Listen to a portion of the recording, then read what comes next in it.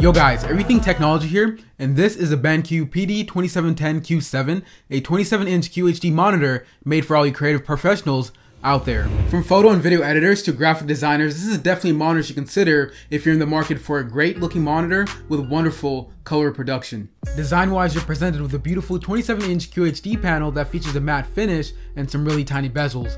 Behind the monitor, you'll find this matte gray finish that features a headphone jack, two display ports, one mini display port, one HDMI port, and a built-in speaker, which kinda sucks to be honest, but I'm assuming if you're gonna pick up this monitor, you're a creative professional who probably is rocking some form of external audio already. And lastly on the back are buttons to adjust the different monitor settings. One of the biggest selling points and what allows this monitor to stand out from its competitors is its built-in USB-C docking station. If you're rocking one of the new MacBooks or a laptop with a built-in USB-C port, you're going to love this.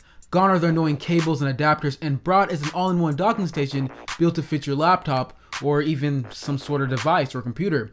Not only can this port power your laptop or device, but it adds additional ports such as a 3.5mm headphone jack, 4 USB 3.0 ports, 2 of those are compatible with USB 3.1 Gen 2, all of them are compatible with power delivery to charge your devices, and on top of that, there's an Ethernet port as well as a display port. Sadly, all these ports require a lot of power, which means one necessarily huge power brick, which is kind of annoying to store if you're trying to have like really nice cable management. As I mentioned earlier, this features an anti-glare display which does a decent job with reflections, but coming from a glossy display, this is considerably better. This monitor also has an ergonomic design that supports a range of height, tilt and pivot adjustments and allows a height adjustment of up to 18 centimeters, providing room to open up a 15 inch wide laptop below the display, which is really dope and looks really clean on the setup. Now in terms of color accuracy, all of you creative professionals won't be disappointed. This has a 100% sRGB and Rec 709 color space, in other words, really great color reproduction. You also have built-in presets such as the CAD slash CAM mode, animation, and darkroom to maximize color accuracy for all you graphic designers out there. Overall, this is a wonderful monitor for anybody in the creative industry. It's feature packed, color accuracy is on point, and it even manages to add additional ports to your devices.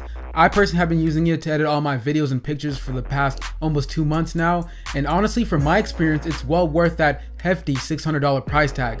Being transparent with you guys, they did send this out for reviewing purposes, but everything I said in this video is actually my honest opinion.